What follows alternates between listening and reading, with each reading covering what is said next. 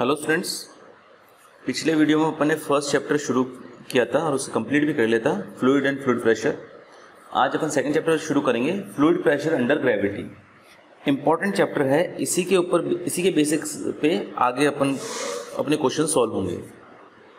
चलिए शुरू करते हैं। पहला थ्योरम है the pressure is same at all points in same direction same horizontal plane in fluid at rest under gravity ये दो मार्क्स का पूछा गया था 2013 में। ठीक है equality of pressure at all points in horizontal line क्या होता है? ये आपको पूछा गया था तो आपको ये लिखना है कि अगर किसी फ्लूइड के अंदर हॉरिजॉन्टल डायरेक्शन में अपन मूव कर तो हॉरिजॉन्टल डायरेक्शन में किसी भी साइड में आप मूव कर लो, हर साइड हर डायरेक्शन में जो फ्लूड का प्रेशर होगा सेम होगा। मतलब इस पॉइंट पे जो प्रेशर होगा, इस पॉइंट पे प्रेशर होगा, इस पॉइंट पे प्रेशर होगा, सब जगह सेम होगा। पिछले चैप्टर में अपन सीखा था, किसी पॉइंट पे हर एक डायरेक्शन में प्रेशर प्रेशर था, इसमें अलग अलग पॉइंट्स के ऊपर प्रेशर है। अगर आप हॉरिजॉन्टली मूव करेंगे तो प्रेशर में कोई फ़र्क नहीं आएगा हॉरिजॉन्टली हर जगह प्रेशर सेम होगा। हाँ अगर डेप्थ इंक्रीज करेंगे, अगर डेप्थ में जाएँगे तो प्रेशर ऑब्वियसली इंक्रीज होगा। तो बेटा इसका तो कोई प्रूवल नहीं है। Next theorem pressure at some depth in a fluid अगर किसी फ्लूड में अपन किसी डेप्थ पे जाए सपोज़ डेप्थ है z हॉरिजॉन्टल मतलब फ्री सरफेस जो है। फ्री सरफेस होता है बेटा, जो भी फ्लूड है, उसका टॉप लेयर जो होती है, उसे बोलते हैं अपन फ्री सरफेस ओके देखो फ्री सरफेस के ऊपर भी एनवायरमेंट का प्रेशर तो होता है। जैसे ये फ्लूइड है, कोई भी लिक्विड है सपोज़ तो ऊपर गैसेज होगी। गैसेज का कोई ना कोई प्रेशर तो उसके ऊपर होगा। सपोज़ वो प्रेशर है पाई एक्चुअली प्रेशर नहीं थ्रस्ट है। मैं आपको याद दिला दूँ थ्रस्ट और प्रेशर क्या होता है बेटा? थ्रस्ट होता है फोर्स पर यूनिट एरिया और प्रेशर होता है टोटल अप्लाइड अनबैलेंस्ड फोर्स है ना? थ्रस्ट होता है एक यूनिट एरिया में कितना प्रेशर आ रहा है वो। थ्रस्ट का फॉर्मूला भी होता है। थ्रस्ट टू होता है प्रेशर अपॉन एरिया या इसको ऐसे भी लिख सकते हैं pressure is equal to thrust into area ये आप याद रखिएगा, इसका यूज़ होगा. Pressure is to thrust into area अब, अपन को इस डेप्थ पे जो प्रेशर लग रहा है, वो पता लगाना है. सपोज़ डेप्थ है z. अपन इसको कैलकुलेट करने के लिए एक हॉर्जोन वर्टिकल लाइन बनाते हैं. सपोज़ ये पॉइंट कैपिटल ए है, या वर्टिकल लाइन बने कैपिटल बी है.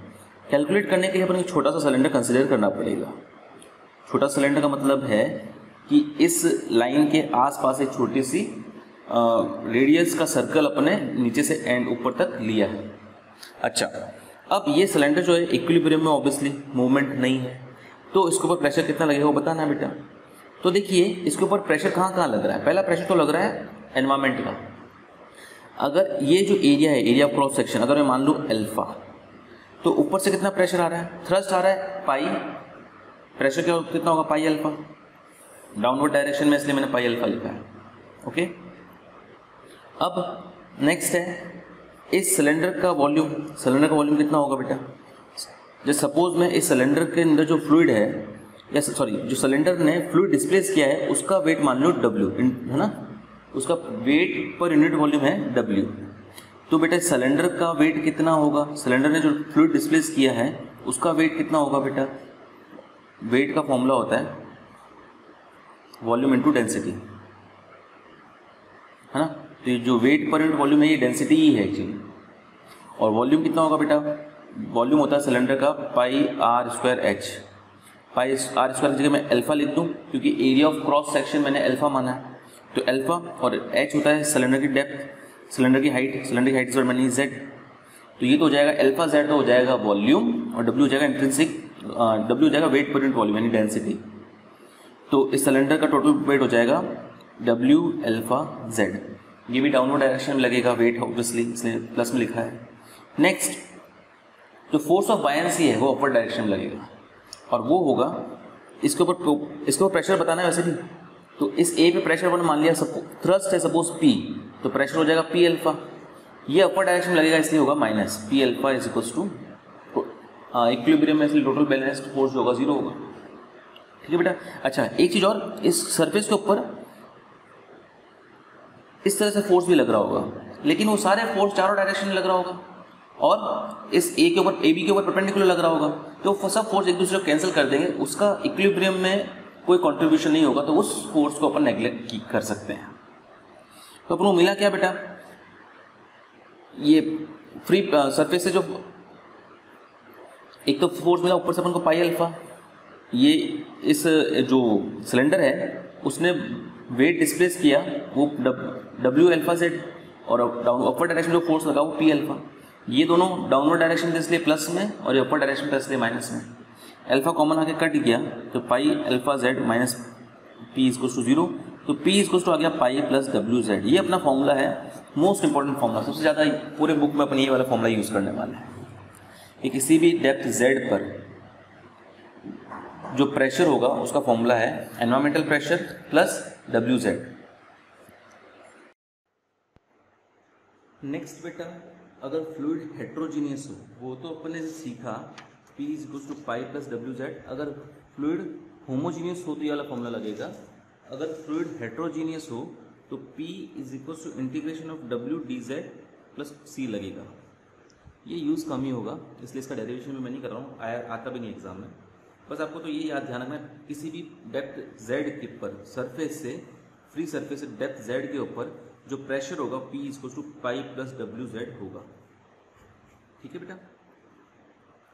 चलिए next difference of pressure between two points अगर सरफेस में सेम वर्टिकल हाइट के नीचे दो पॉइंट्स अगर P1 और P2 सपोज़ ये पॉइंट है A1 और A2 इनके वो प्रेशर्स हैं P1 और P2 तो P1 और P2 का जो डिफरेंस है, वो P1 minus p two is to W H होगा। ऑब्वियसली P1 ज़्यादा होगा, क्योंकि मैंने आपको बताया, जैसे आप डेप्थ में जाओगे फ्लूड का प्रेशर बढ़ेगा बढ़ेगा। तो p one minus p two जो होगा, वो डब्ल्यू एच होगा बेटा। इसका डेरिवेशन बहुत ईजी है। यहाँ पे एच ध्यान है इन दोनों के बीच की डिस्टेंस है वर्टिकल डिस्टेंस है। पी वन क्या फॉर्मूला होगा बेटा? सपोज़ फ्री सरफेस से पी वन की डेप्थ है एच वन और पी टू की डेप्थ है एच टू तो पी वन का फॉर्मूला क्या होगा? Pi plus W H one है ना? डब्ल्यू जेड अगर जेड डेप्थ हो तो डब्ल्यू जेड होता है। अभी डेप्थ एच वन है तो वो डब्ल्यू जेड वन होगा। पी टू होगा pi plus W H two subtraction अगर करोगे p one minus p two pi cut जाएगा। इनमें डब्ल्यू कॉमन आ जाएगा h one minus h two h one minus h two क्या होगा बेटा? ये डिस्टेंस एच तो p one minus p two हो जाएगा डब्ल्यू इंटू एच ठीक है?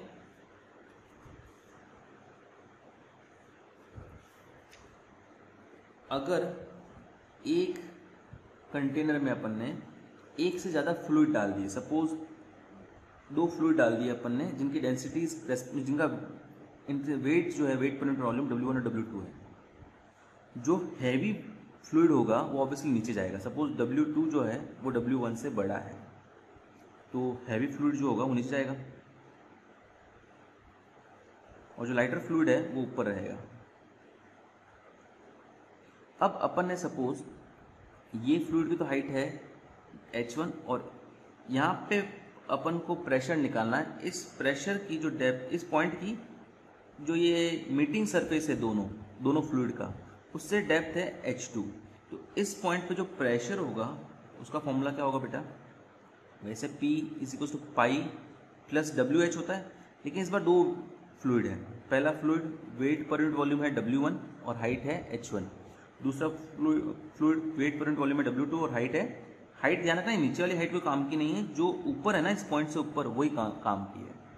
उसकी हाइट है एच टू तो जो रिजल्टेंट प्रेशर होगा इसके ऊपर वो होगा W one H one plus W two H two इस तरह से अगर दो से ज़्यादा फ्लूड हो तो W one H one plus W two H two plus W three H three and so on चलता जाएगा.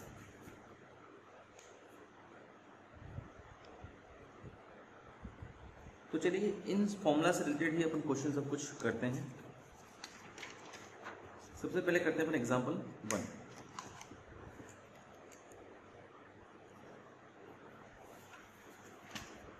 the pressure at bottom of a well is four times that of at a depth of two feet मतलब क्या बेटा? Bottom पे जो pressure है suppose pressure मानते हैं पी वन और टू फीट पे जो प्रेशर है फ्री सरफेस से जो two feet distance height depth पे जो प्रेशर है, उसका फोर टाइम है। सपोज़ यहाँ प्रेशर है पी टू तो P one is four times of P two आपको दे रखा है। Find the depth of the well with the pressure of the atmosphere be equal to thirty feet of water अच्छा जो atmospheric pressure है pi वो कितना है बेटा? पाई इसको तो आपको दे देगा थर्टी फीट ऑफ़ वाटर पे जो प्रेशर होगा मतलब थर्टी इंटू डब्ल्यू है ना? फिर प्रेशर क्या होता है? डब्ल्यू जेड होता है ना? तो इस बार पाई जो है, वो डब्ल्यू जेड जेड की जगह थर्टी फीट दे रखा है। तो पाई जो है थर्टी डब्ल्यू के बराबर है। तो ये तो इजी हो गया। पी वन क्या होगा बेटा? Pi plus W Z one Z one होगा बेटा, इस पॉइंट की डेप्थ इस पॉइंट की डेप्थ अपन मान लेते हैं एच मान लेते हैं, ठीक है? और four times of P two होगा बेटा पाई प्लस डब्ल्यू इस पॉइंट की डेप्थ इस पॉइंट डेप्थ कितनी होगी बेटा? टू डब्ल्यू इंटू टू अब pi plus W W H is equal to four into pi की जगह लिख देता हूँ thirty W plus two W एक से यहाँ पे भी पाई की जगह थर्टी डब्ल्यू लिख देता हूँ बेटा। तो थर्टी डब्ल्यू कॉमन ले लो plus H is equals to W common ले लो वन ट्वेंटी प्लस एक सेकेंड ये थर्टी टू हो गया था। Thirty two into four one twenty eight हो जाएगा। वन ट्वेंटी एट डब्ल्यू ठीक है? तो डब्ल्यू से डब्ल्यू कैंसिल कर दूँ। तो H is equals to one twenty eight minus thirty तो एच की वैल्यू आ जाएगी नाइन्टी एट फीट बस ये सिंपल ही था बेटा। डेप्थ पे प्रेशर को अपने पी टू के फोर टाइम्स के बराबर कर दिया था। ठीक है बेटा? सेम सेकंड क्वेश्चन आप लोग कीजिएगा, वो इंटीग्रेशन से रिलेटेड है। मैंने अभी आपको बताया था W D Z plus C से। ये लेस इंपॉर्टेंट है, ये मैं नहीं करा रहा हूँ। Next example three most important question तीन बार आ चुका है। 2013, 2014 और 2017 में। क्या बेटा? Prove that pressure at centre of gravity C G मतलब सेंटर ऑफ़ ग्रेविटी है ऑफ़ अ ट्राइंगुलर लेमिना एक कोई ट्राइंगुलर लेमिना है लेमिना मतलब शीट है। इसको अपने सरफेस किसी फ्लूड के अंदर इमर्स किया। ठीक है फ्लूड है चारों तरफ़। तो उसके सेंटर ऑफ़ आपको प्रूव करना है कि सेंटर ऑफ़ ग्रेविटी जो जी होगा सेंटर ऑफ़ ग्रेविटी पे जो प्रेशर होगा is is one third of the sum of pressure at angular points ये तीन एंगुलर पॉइंट्स जो है suppose A B C in angular points में जो प्रेशर होगा, उनके सम का वन थर्ड होगा। मतलब इस पे प्रेशर है सपोज़ पी इस पे pressure suppose P one P two and P three तो P is equal to P one plus P two plus P three upon three होगा। ये आपको प्रूव करना है। ओके बेटा? तो अपन एक काम करते हैं, इस पॉइंट की डेप्थ मान लेते हैं एच वन इस पॉइंट की डेप्थ मान लेते हैं अपन एच टू और इस पॉइंट की डेप्थ मान लेते हैं अपन एच थ्री ओके तो और इस पॉइंट की डेप्थ अपन मान लेते हैं एच एक सेकेंड सेंटर ऑफ़ ग्रेविटी का फॉर्मूला आपको पता है, आप लोगों ने पहले एक्स और वाई के टर्म्स से पढ़ा है X equals to X one plus X two plus X three upon three होता है, और Y is to Y one plus Y two plus Y three upon three होता है। सेम तरीके से यहाँ पर यहाँ पर सेंटर ऑफ़ ग्रेविटी निकालना है अपन को डेप्थ सेंटर ऑफ़ ग्रेविटी की डेप्थ निकालनी है। अगर हम किसी ट्राइंगल के तीनों वर्टिसेस की डेप्थ अगर h1, h2 और h3 है तो सेंटर ऑफ़ ग्रेविटी की जो डेप्थ होगी h वो होगी h1 one plus H two plus H three upon three same concept है बेटा है ना? तो ये ध्यान रखना है कि इसकी डेप्थ है h अब इस pressure at centre of gravity G कितना होगा? Pressure pressure at centre of gravity कितना होगा? पाई प्लस डब्ल्यू जेड होता है जेड की जगह मैं लिख रहा हूँ एच ये तो अपन को पता चल गया, इसको अपन ऐसे लिख सकते हैं, पाई प्लस डब्ल्यू एच की जगह लिख सकते हैं अपन H one plus H two plus H three upon three ठीक है? और प्रेशर एट ए कितना होगा बेटा? ये रफ है। प्रेशर एट ए कितना होगा बेटा? Pi plus W H one pressure at B कितना होगा? Pi plus W H two pressure at C कितना होगा बेटा? प्रेशर एट ये मतलब पी वन लिख देता हूँ इसको। पी वन तो आ गया pi plus H one W H one P two आ गया pi plus W H two और पी थ्री आ गया pi plus W H three ठीक है? अब अपन को ये जो पी है, अपन को this plus this plus this P one plus P two plus P three upon three लाना है। तो ध्यान से देखना बेटा मैं क्या करता हूँ। थ्री एल लेता हूँ।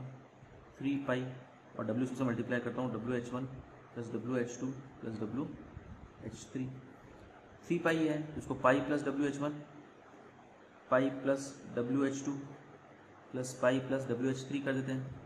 पाई अपॉन थ्री है ये। Pi plus W H one को अपन पी वन लिख सकते हैं। Pi plus W H two को अपन पी टू लिख सकते हैं और पाई प्लस एच थ्री को अपन पी थ्री लिख सकते हैं upon three hence prove okay similarly next example example fourth ये भी इंपॉर्टेंट है बेटा, ये 2016 में आया हुआ है।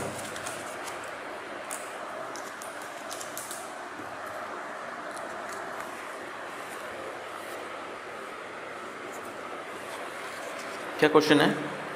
If rho and rho dash with the densities of two fluids rho is less than rho dash दे रखा है। And the length of arms of a U tube एक यूट्यूब है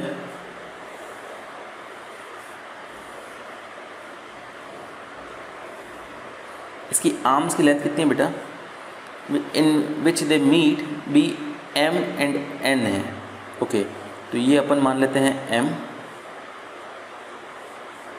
और ये अपन मान लेते हैं एन एक यूट्यूब है, इसकी आर्म्स की लेंथ अलग अलग बेटा, ये यूट्यूब अब फ्लूड डाला बेटा तो ये जो हल्का फ्लूड है ऑब्वियसली ऊपर रहेगा तो ये जो हल्का फ्लूड है, वो मैं यहाँ डालता हूँ। यहाँ पे रो है।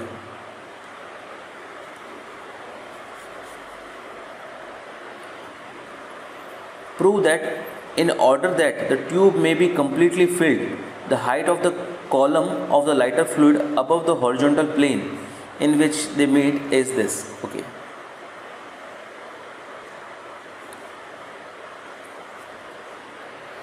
चलिए तो शुरू करते हैं यहाँ पे पूरे पे फ्लूड भरा है रोड डैश जो हैवियर फ्लूड है और लाइटर फ्लूड यहाँ पे है यस अच्छा नीचे नीचे जो फ्लूड है बेटा उससे मतलब नहीं है एक चीज़ आपको नोटिस करने वाली है।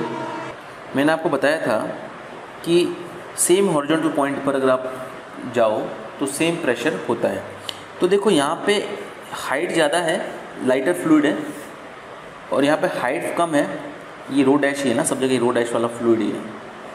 तो यहाँ पे जो फ्लूड है, ये हाइट कम है डेंस फ्लूड की डेंसिटी ज़्यादा है। अब हैवी फ्लूड है मतलब तो इतने फ्लूड का इस पॉइंट पे जो प्रेशर होगा सेम हॉरिजॉन्टल पॉइंट पे इतने फ्लूड का प्रेशर भी उतना ही होगा। क्योंकि मैंने आपको बताया था हॉरिजॉन्टल डायरेक्शन में फ्लूड का जो प्रेशर होता है वो सेम होता है।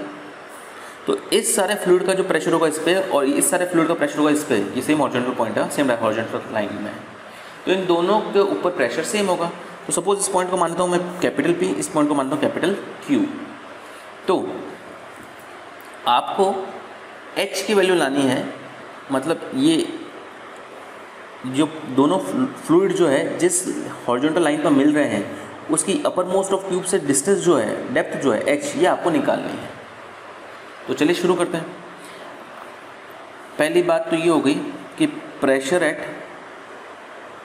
P equals to pressure at Q P पे प्रेशर Q पे प्रेशर सेम होगा। अब ये ट्यूब अगर ओपन हो या क्लोज उससे फ़र्क नहीं पड़ता, क्योंकि अगर ओपन होगा तो भी पाई प्लस होगा दोनों साइड पाई से पाई कट जाएगा। और अगर क्लोज हो उससे फ़र्क नहीं पड़ता क्लोज में एटमोस्फेरिक प्रेशर नहीं आता तो अपन क्लोज मान के ही काम कर लेते हैं, चलो। ओपन होती ना बेटा तो भी दोनों side pi plus pi plus आता है कट जाता है। है ना? फॉर्मूला था पाई प्लस डब्ल्यू जेड तो पाई दोनों साइड होता है, वो कट जाता है। अपन को केवल अब डब्ल्यू जेड से मतलब है। तो बेटा, इस फ्लूड का प्रेशर कितना होगा? फ्लूड का प्रेशर होता है डब्ल्यू जेड अच्छा डब्ल्यू क्या होता है? Weight per unit volume weight क्या होता है बेटा? मास वेट का फॉर्मूला होता है mass into X density into gravity देखो, आपने पढ़ा होगा फॉर्मूला टेंथ क्लास में कि वेट या force is equal to mass into acceleration होता है। यहाँ पे फोर्स या वेट वेट भी फोर्स ही होता है बेटा। तो W इज़ इक्वल टू क्या होगा? मास मास इस बार आपको दे रखा होगा, ये डेंसिटी जो आपको दे रखी है ना, वही आपका मास है रो और एक्सेलरेशन होगा बेटा, इस बार एक्सेलरेशन ड्यू टू ग्रेविटी है इसलिए जी तो ध्यान रखना, W का फॉर्मूला बनेगा अपने पास रो जी तो प्रेशर एट पी कितना होगा बेटा? डब्ल्यू जेड डब्ल्यू की जगह लिखूँगा मैं रो जी और जेड जेड मतलब इस पॉइंट पी की डेप्थ फ्री सरफेस से। ये डेप्थ हो गई एच इज़ इक्वल्स टू अब बेटा प्रेशर एट क्यू कितना होगा? प्रेशर क्यू भी बेटा वही होगा डब्ल्यू जेड डब्ल्यू की जगह लिखूँगा मैं, इस बार जो ये फ्लूड है, इसकी डेंसिटी है rho dash rho dash into G लेकिन ये जो डेप्थ है, ये वाली डेप्थ ये वाली डेप्थ अभी अपन को दी हुई नहीं है। तो ये वाली डेप्थ अपन को निकालनी पड़ेगी। कैसे निकालेंगे बेटा? देखो, ये चीज़ और ये चीज़ बराबर होगी बॉटम से डिस्टेंस ये हाइट और ये हाइट बराबर होगी। ये हाइट कितनी होगी बेटा? एम माइनस एच है ना? M minus H will be equal to ये ये डिस्टेंस ये सपोज़ डिस्टेंस मानते हैं अपन एक्स ठीक है? तो ये हाइट कितनी होगी बेटा? एन माइनस एक्स तो x का क्या फॉर्मूला मिलेगा अपन अपन को? N minus M plus H ये x इधर लिया और m और h उधर लिया। तो ये जो डेप्थ आएगी आएगी n minus M plus H अब अपन को h की वैल्यू निकालनी बहुत इजीली निकल जाएगी। जी से जी तो पहले काट दो। रो एच इसको two rho N minus M into rho dash और प्लस का रो डैश एच ये इधर ले लो। तो rho minus rho dash into H इसको two N minus M rho dash हो जाएगा। बेटा, मैंने ये रो जो है दोनों से मल्टीप्लाई किया, वापस रो डैश कॉमन भी ले लिया। N minus M into rho dash और एच इंटू रो डैश कर लिया। ये इधर लिया एच कॉमन ले लिया। तो ये हो गया रो माइनस रो डैश हो जाएगा। तो एच के लिए हो जाएगी N minus M into rho dash upon rho minus rho dash ठीक है?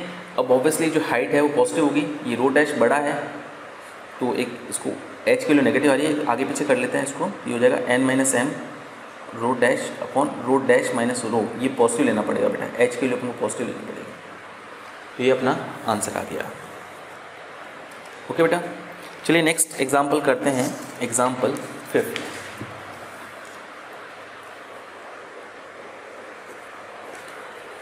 A small uniform tube is bent into the form of circle whose plane is vertical and equal volumes of two liquids of density rho and sigma okay filled half the tube so that the radius passing through the common surface makes with vertical and angle theta given by tan theta is equals to rho minus sigma upon rho plus sigma देखो क्या है बेटा एक sir, एक tube थी, उसको circular form में bend कर दिया।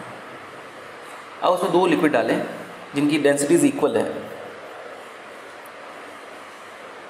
और दोनों ट्यूब को आधा फिल करते हैं। देखो तो इस वॉल इस डेंसिटी का फ्लूड और इस डेंसिटी का फ्लूड मिलकर ट्यूब को आधा फिल करते हैं। मतलब ये वन फोर्थ डेंसिटी का फ्लूड इस इस डेंसिटी का डालना पड़ेगा। वन फोर्थ फ्लूड जो है, इस डेंसिटी का वन फोर्थ फ्लूड इस डेंसिटी का डालना पड़ेगा।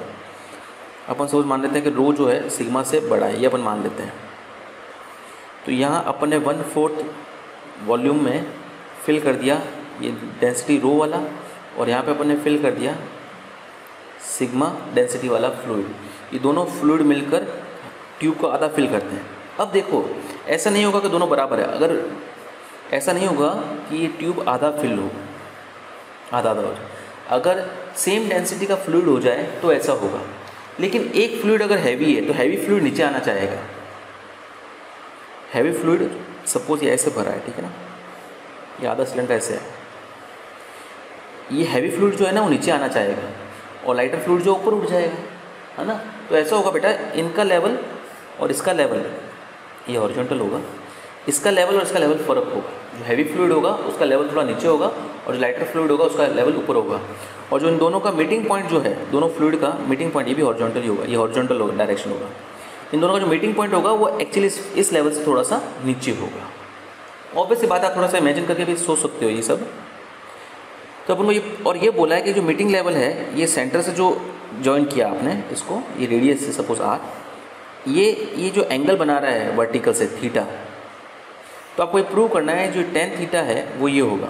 Rho minus sigma upon rho plus sigma होगा ये आपको प्रूव करना है। ठीक है? तो चलिए करते हैं। इजी है क्वेश्चन बेटा। देखो, अपन इस पॉइंट की बात करते हैं। इस पॉइंट इस पॉइंट पर लेफ़्ट इक्विलिब्रियम में ना बॉडी मतलब पूरा फ्लूड इक्विलिब्रियम में मतलब क्या है? कि इस साइड से इतना प्रेशर आ रहा है और इस साइड से इतना प्रेशर आ रहा है, वो बराबर होगा। तो देखो बेटा, इस साइड से कितना प्रेशर आ रहा है? ध्यान रखना, मैं रेडियस मानी आर या एंगल है थीटा तो इस साइड से प्रेशर कितना आ रहा है बेटा? प्रेशर का फॉर्मूला था pi plus W H W Z तो पाई का कोई मतलब नहीं है क्योंकि क्लोज ट्यूब है तो पाई मैं हटा देता हूँ। डब्ल्यू डब्ल्यू होता है बेटा इस फ्लूड का वेट इस फ्लूड का वेट कितना होगा? रो जी और एच होगा बेटा इसकी, इस पॉइंट की वर्टिकल डेप्थ ये वर्टिकल डेप्थ होगी आपके z है ना? तो मैं इस पॉइंट को लिखता हूँ, P, और ऐसे लिख देता हूँ। Pressure at P from left is equals to pressure at P from right तो दोनों साइड से प्रेशर निकालते हैं बेटा। तो देखो बेटा, इस रो यहाँ से प्रेशर कैसे निकालेंगे? डब्ल्यू जेड डब्ल्यू तो होगा रो जी और जेड क्या होगा बेटा? ये जो फ्लूड है, इसकी डेप्थ वर्टिकल डेप्थ था ये डेप्थ मतलब ये चीज़ ये काम करते हैं, इसको अपन ज्वाइन कर देते हैं, ऐसे। ठीक है बेटा? तो ये डेप्थ कैसे निकालेंगे, देखना। ये 90 डिग्री है। तो जैसा कि मैंने बताया, ये फ्लूड और ये फ्लूड बराबर है। तो ये जो लाइन होगी, ये एग्जैक्टली इस, ये लेंथ और ये लेंथ बराबर होगी ना, इसका मतलब ये एंगल 90 डिग्री होगा, ये एंगल भी 90 डिग्री होगा। क्योंकि दोनों, ये अगर फ्लूड बराबर है तो बीच में एंगल भी बराबर ही होंगे। तो ये एंगल होगा बेटा, ये वाला एंगल 90 माइनस थीटा ट्रिग्नोमेट्री से आपको निकालना पड़ेगा रेडियस अपन आर मान लेते हैं। ट्रिग्नोमेट्री से अपन को ये डेप्थ निकालना ये पॉइंट मान लेता हूँ सपोज़ मैं एम और ये वाला पॉइंट मान लेता हूँ सपोज़ एल इसकी ज़रूरत होगी बाद में मुझे। तो ये एम पी अपन को निकालना है। तो एम पी कैसे निकालेंगे बेटा देखना। पहले मैं ये ओ एम निकालता हूँ ट्रिग्नोमेट्री से। O M will be equal to R cos ninety minus theta ठीक है ना? यानी ओ एम हो जाएगा आर साइन थीटा ठीक है? और ये ओ पी कितना है बेटा? रेडियस आर के बराबर ही होगा। तो ओ एम कितना एम पी कितना हो जाएगा? एम पी हो जाएगा R O P minus O M यानी कि R minus R sine theta ये ध्यान रखना बेटा। आपको सिमिलरली एक सेकंड पहले मैं ये लिख देता हूँ। Pressure at P from left ये हो जाएगा रो जी इंटू ये depth M P is equals to pressure at P from right right से कितना प्रेशर आया बेटा? राइट से इस रो डेंसिटी वाले फ्लूड का भी प्रेशर आ रहा है और सिग्मा डेंसिटी वाले फ्लूड का भी प्रेशर आ रहा है। तो इस रो डेंसिटी वाले प्रेशर फ्लूड का कितना प्रेशर आएगा बेटा? सपोज़ ये हॉर्जेंटल ज्वाइन कर देते हैं, अपन ये पॉइंट मानते हैं कैपिटल एन तो ये होगा बेटा रो है ना? Rho g N P same formula W Z और प्लस इस सिग्मा फ्लूड के कारण कितना प्रेशर आ रहा है बेटा? यहाँ पर सपोज़ अपन ज्वाइन करते हैं इसको इसको मान लेता हूँ एस मान लेता हूँ, ठीक है? तो इस फ्लूड की जो वर्टिकल हाइट होगी वर्टिकल हाइट होगी एस एन के बराबर तो ये होगा सिग्मा जी एस एन ठीक है? इस फ्लूड की वर्टिकल हाइट कितनी होगी बेटा? इधर अपन ने ज्वाइन किया एस इधर अपन ज्वाइन किया एन एस एन बस, अपन को एम पी एन पी और एस एन की वैल्यू निकाल कर इसमें डालनी है, अपना क्वेश्चन सॉल्व हो जाएगा। जी तो कॉमन आके हमेशा कटेगा जी तो कभी रहेगा ही नहीं आपके किसी भी क्वेश्चन में। तो चलिए एम पी की वैल्यू अपन जैसे निकाल लिया अपने R minus R sine theta उसी तरह से एन पी और एस एन की वैल्यू भी निकालते हैं। देखो एस एन पी की वैल्यू निकालते हैं। एन पी ये वाली डेप्थ एन पी क्या होगा बेटा? एन पी होगा आपका O P minus O N O P तो अपने पास है आर ओ एन निकालते हैं ओ एन क्या आएगा बेटा ट्रिग्नोमेट्री से? इस वाले ट्राइंगल में देखो रेडियस आर है, ये एंगल थीटा है। तो ओ एन आएगा आर कॉस थीटा है ना बेटा? Cos theta is equals to O N upon R आएगा, यानी O N is equals to R cos theta आएगा। ये हो जाएगा R minus R cos theta ठीक है ओ एन आ गया। अब बारी एस एन की। एस एन कैसे निकालेंगे बेटा?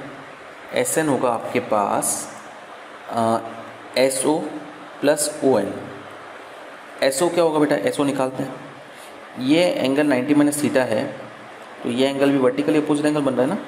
ये एंगल भी 90 माइनस थीटा होगा। ये रेडियस आर है तो एस ओ होगा, ये एंगल थीटा होगा ना? आर साइन थीटा तो एस होगा आर साइन थीटा और ओ एन आ गया अपने पास R minus R cos theta तो ये एस एन की वैल्यू एन पी की वैल्यू और एम पी की वैल्यू इसमें रख देते हैं तो आपको मिलेगा rho into R minus R sine theta rho into N P की वैल्यू लिख देते हैं अपन R minus R cos theta sigma into S N की वैल्यू लिख देते हैं एस एन की वैल्यू आएगी R sine theta plus R minus R cos theta देखो बेटा, यहाँ पे भी आर कॉमन आ रहा है, यहाँ पे भी आर कॉमन आ रहा है, यहाँ पे भी आर कॉमन आ रहा है। और पूरे में से आर कॉमन आने के बाद आर आर सब कट जाएँगे। तो one minus sine theta sigma into rho into one sine one minus sine theta rho into one minus cos theta plus rho into sine theta minus one sorry plus one minus cos theta तो ये हो जाएगा rho minus rho sine theta is equals to rho minus rho cos theta plus sigma sine theta plus sigma minus sigma cos theta rho से rho cut गया।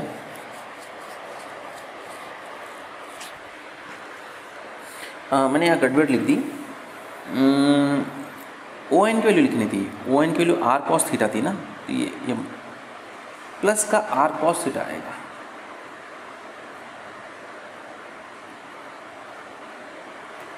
ठीक है?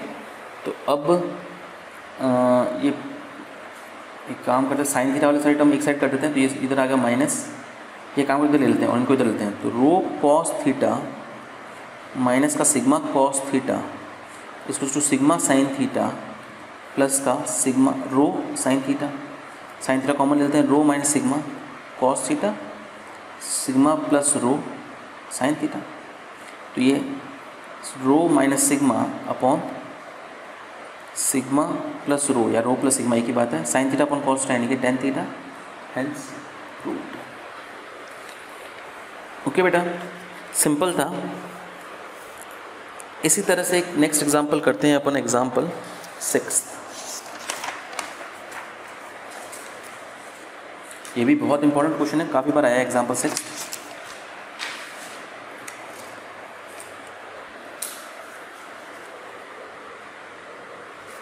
ये 2013 2014 2017 no no sorry मैंने गलत लिख दिया। 2013 14 18 2019 और एक 2010 में भी आया हुआ। पाँच बार आया हुआ है। सेम क्वेश्चन है बेटा। अ सर्कुलर ट्यूब एक सर्कुलर ट्यूब है। सेम पैटर्न का क्वेश्चन है, जो अभी अपन ने किया है just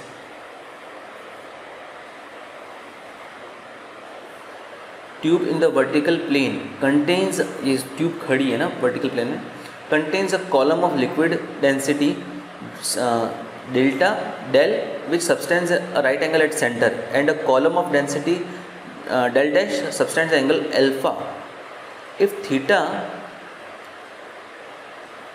is the angle that the radius through the common surface makes with the vertical, prove that tan theta is equals to this. Okay, देखते हैं बेटा, ये अपना पहला फ्लूइड ये पहला, ये हॉरिजॉन्टल होगा हॉरिजॉन्टल डायरेक्शन हॉरिजॉन्टल सेपरेट होता है। ये पहला फ्लूड है, जो सेंटर पे एंगल बना रहा है 90 डिग्री और दूसरा फ्लूड है, जो सेंटर पे एंगल बना रहा है अल्फ़ा ये फ्लूड है डेल और ये फ्लूड है डेल डैश मतलब इस फ्लूड की डेंसिटी डेल और इस फ्लूड की डेंसिटी है डेल डैश अब ये जो वर्टिकल से एंगल बना रहा है, ये एंगल है थीटा ठीक है बेटा? चलो तो अपन को प्रूव करना है कि टेन थीटा इसको टू दिस दिस दिस होगा प्रूव करते हैं। चलो बेटा तो ये पॉइंट मान लेते हैं सेम पी और यहाँ पे एक हॉरिजॉन्टल लाइन बना देते हैं। यहाँ पे थोड़ा इसको नीचे ले देते हैं, वरना कन्फ्यूज़न हो जाएगा। चलो रहने दो। ये पॉइंट ले लेते हैं एन और ये पॉइंट ले लेते हैं कैपिटल एम ठीक है? चलो तो सिंपल सी बात है फ्लूड जो है अगर इक्विलिब्रियम में है तो pressure at P from left is to pressure at P from right होगा। तो बेटा लेफ़्ट से प्रेशर कितना आया? रो डैश या लेफ़्ट दो जगह से प्रेशर आया बेटा।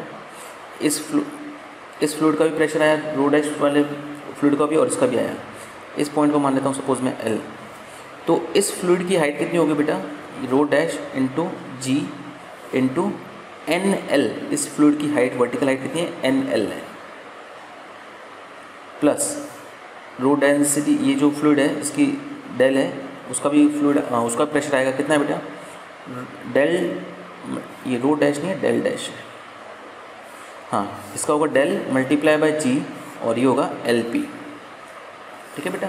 नीचे वाला फ्लूड कंसिडर नहीं करना है, जो पॉइंट है अपना, उसकी डेप्थ ही कंसिडर करनी है। Is equal to pressure of fluid from right right से कितना फ्लूड का प्रेशर आया बेटा? Rho sorry del g into ये डेप्थ ये डेप्थ होगी एम पी ठीक है बेटा? जी तो कॉमन आकर ऑब्वियसली कट गया। अपन को एन एल एल पी और एम पी की वैल्यू निकालनी है। एन एल की वैल्यू कैसे निकालेंगे देखना बेटा। एक बार मैं इसकी रेडियस मान लेता हूँ आर तो ओ पी तो अपना हो जाएगा आर अब अपन पहले ये एंगल अगर अल्फ़ा है, ये एंगल थीटा है। ये अल्फ़ा ये थीटा तो ये अपना ओ एन जो है, वो कितना हो जाएगा बेटा? ये पूरा एंगल होगा अल्फ़ा प्लस थीटा तो ये हो जाएगा cos of alpha plus theta O N हो जाएगा। ओ एम अपना कितना हो जाएगा बेटा? ये एंगल होगा नाइन्टी माइनस थीटा ये एंगल होगा थीटा तो ओ एम अपना हो जाएगा आर साइन थीटा और ये एंगल थीटा है। तो ओ एल अपना कितना हो जाएगा? R cos theta O N R cos ninety alpha plus beta theta ठीक है। तो बेटा अब अपनों निकालना क्या एन एल एन एल क्या होगा? एन एल होगा O L minus O N O L अपने पास आर कॉस थीटा और ओ एन अपने पास ये। तो मैं आर कॉमन लेता हूँ। कॉस अल्फ़ा प्लस थीटा हो जाएगा। ठीक है? एन एल के बाद चाहिए हमको एल पी एल पी कितना होगा बेटा? L P O P minus O L L P होगा अपना O P minus O L O P है अपना आर और ओ एल है अपना, ये रहा। आर कॉमन लेता हूँ तो वन माइनस कॉस थीटा हो जाएगा। नेक्स्ट एम पी कितना होगा बेटा? एम पी होगा अपना O P minus O M O P अपना आर और ओ एम ये रहा तो आर कॉमन ले लूँगा तो one minus sine theta value सबकी आ गई बेटा सिंपली ट्रिग्नोमेट्री से। बस जस्ट प्लग इन करो और आपका आंसर प्रूव हो जाएगा। डेल डैश एन एल की वैल्यू लिखता हूँ मैं R times of cos theta minus cos alpha plus theta plus del और एल पी एल पी की वैल्यू है R, one minus cos theta इसको टू डेल एम पी की value होगी R, one minus sine theta. तो R तो common आके cut गया। Del dash cos theta minus del dash cos alpha plus theta, del minus del cos theta is equals to del minus del sine theta. Del से del cut गया। ठीक है बेटा? यहाँ पे कॉस अल्फ़ा प्लस थीटा की value रखी जा सकती है। तो del dash cos theta minus cos A plus B का फॉर्मूला होता है cos A cos B minus sine A sine B तो आगे वाला माइनस से और डेल डैश से मल्टीप्लाई करके ही लिखता हूँ मैं।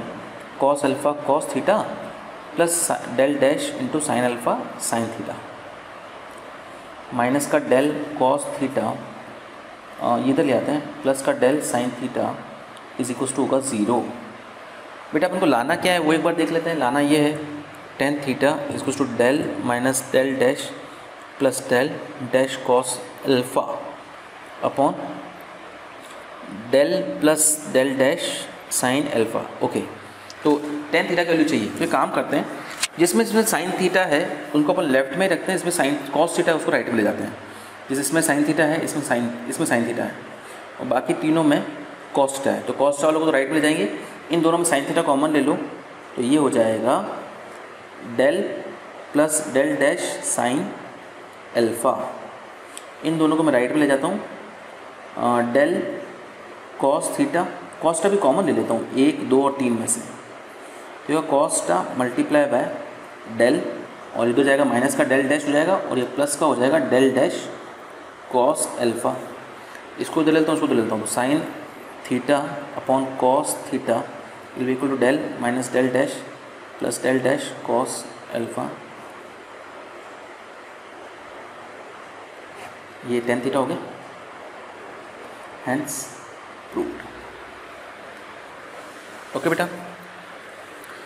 सेम एग्ज़ाम्पल है एग्ज़ाम्पल सेवेंथ ये आप लोगों के लिए छोड़ रहा हूँ, मैं 2014 में और 2015 में आया हुआ है, दो बार आया हुआ है। नेक्स्ट एग्ज़ाम्पल ये आप लोग सारे एग्जाम्पल्स कर लीजिएगा। एग्ज़ाम्पल 16 भी एग्ज़ाम्पल नाइन भी करिएगा। ये 2016 में आया हुआ है। ठीक है बेटा? और एग्ज़ाम्पल टेंथ भी आप लोगों के लिए छोड़ रहा हूँ। ये सेम तरह के क्वेश्चन ही हैं बेटा। सेम इस तरह से बेंडिंग ट्यूब वाले। ये 2007 में आया हुआ है और 2011 में आया हुआ है। ट्राई कीजिएगा, नहीं हो तो मुझसे पूछ लीजिएगा। बस एग्जाम्पल्स तो इतने आए हुए हैं। अब एक्सरसाइज में से ये जो दो क्वेश्चन हैं सेवन्थ और एट्थ ये 2014 में और ये 2007 और 2019 में आया हुआ है। अच्छे से कर लीजिएगा। और ये जो नाइन्थ और ये टेंथ क्वेश्चन ये भी इंपॉर्टेंट है, ये भी कर लीजिएगा बेटा। डाउट हो तो मुझे पूछ लीजिएगा।